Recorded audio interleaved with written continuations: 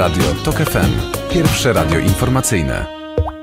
Reprezentantem Prawa i Sprawiedliwości w sprawach zagranicznych została y, była pani minister, pana poprzedniczka, y, pani Anna Fotyga. Y, tak przyznam, że próbuję sobie wyobrazić, na czym ta ambasadorska rola ma polegać. Czy, nie wiem, to jest alternatywna polityka zagraniczna?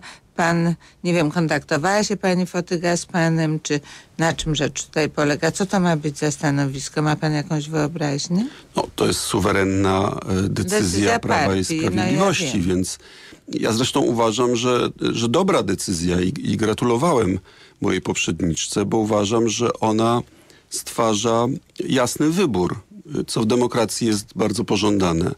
Mianowicie przed, y, pomiędzy polityką i stylem prowadzenia polityki zagranicznej y, pani minister Anny Fotygi y, z i z tym zadeklarowaną chęcią wyzwolenia Polski z, spod kondominium niemiecko-rosyjskiego i, i, i polityką, którą prowadzi rząd i prezydent. Czyli ma pan recenzentkę po prostu w tej chwili, czy nie wiem, czy alternatywne, tak się zastanawiam, czy to ma być recenzja, czy przedstawianie No myślę, alternatywnego z- programu. Z podstawowych ról opozycji jest jedno i drugie.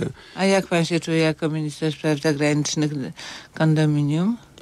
No, to jest po prostu bzdura i będziemy tłumaczyć, dlaczego tak jest. No, Polska przygot przygotowuje się właśnie do współprzewodzenia Unii Europejskiej y, i ja nie dostaję y, instrukcji od, od Niemiec czy Rosji, y, jaką ma Polska prowadzić politykę, a wręcz przeciwnie.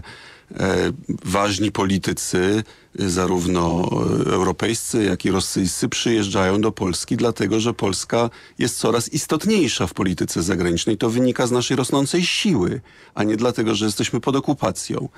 No ale, e, ale to społeczeństwo rozsądzi, która analiza rzeczywistości jest według niego bardziej realistyczna. No to jest ciekawa, serwilistyczna polityka.